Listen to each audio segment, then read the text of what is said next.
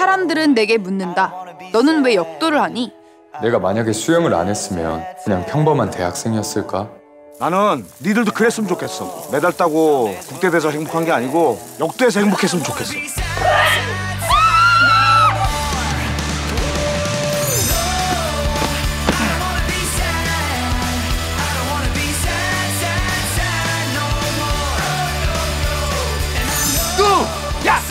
등. 하이파이브 해줘. 하이파이브 해줘. 나 유령이니? 말 좀 하지. 왜 왜? 안 나요?